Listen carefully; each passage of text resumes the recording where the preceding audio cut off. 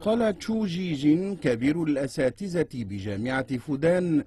إن معظم الدول الغربية ترى أن مشاكل الاقتصاد العالمي هي نقص الطلب. في حين اقترحت الصين تطوير التكنولوجيات الجديدة وتعزيز إصلاح القطاع الصناعي من أجل تعزيز النمو الاقتصادي. ويرى تشو إنها خطة ابتكار مع الأزمة الاقتصادية. وأشار تشو إلى أن الأزمة المالية العالمية في عام 2008 كشفت عن وجود مشاكل عدة في هيكل الحوكمة الاقتصادية العالمية.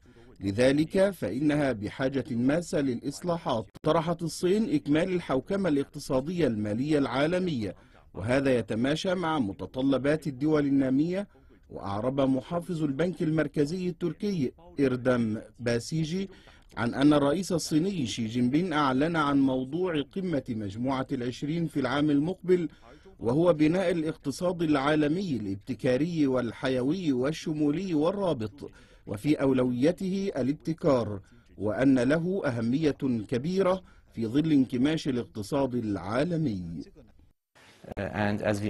وفقا لمعرفتي فإن الصين ستؤكد على مفاهيم التنمية الأوسع مثل الابتكار وهذا مهم جدا.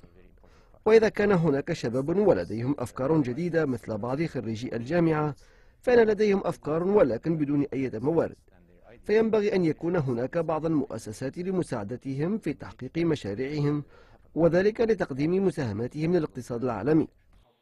وفيما يتعلق بكلمة أخرى هامة في قمة مجموعة العشرين في العام المقبل وهي الشمولية قال باسيجي إن تركيا قد أكدت على نمو الاقتصاد الشمولي في قمة مجموعة العشرين هذه وستواصل الصين التأكيد على هذا الموضوع وهذا يجعل مفاهيم القمتين متوارثة وأنه على ثقة بأن الصين قمة ناجحة.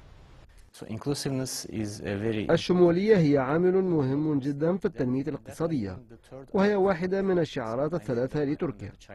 وأنا على ثقة بأن الصين ستسلط الضوء على تتولى الصين رئاسة المجموعة بالتناوب وأعتقد أن قمة مجموعة العشرين في العام المقبل في الصين ستكون مثمرة جدا.